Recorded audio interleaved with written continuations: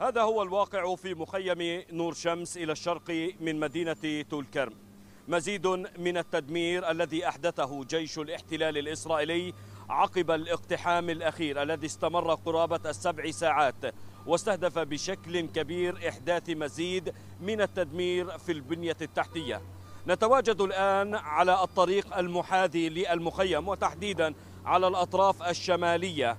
هذا الطريق يعرف بطريق تولكرم نابلس. دمره جيش الاحتلال الإسرائيلي من البداية إلى النهاية. الطريق الآن أصبح مغلقا أمام حركة المركبات الفلسطينية نتيجة التدمير الهائل الذي تعرض له.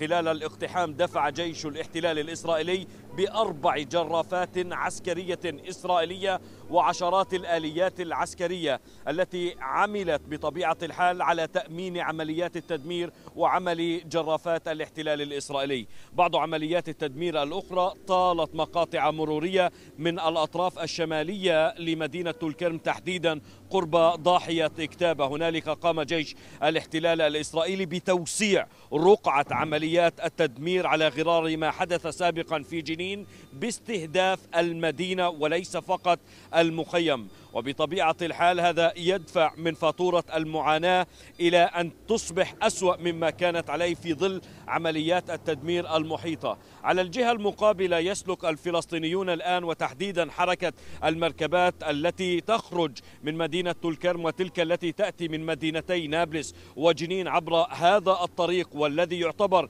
شريانا أساسيا للوصول إلى مدينة تلكرم في ظل الإغلاقات.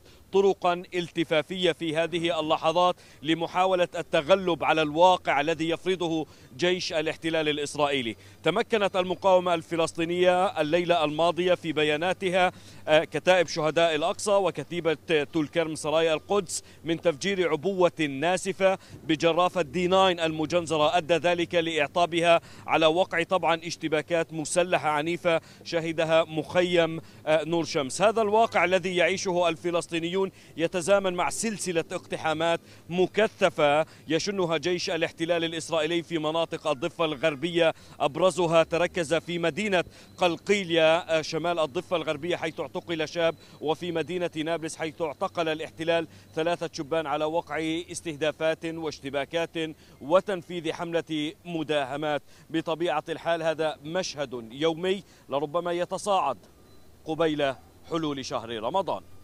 خالد بدير قناة الغد من مخيم نور شمس شرقة الكرم.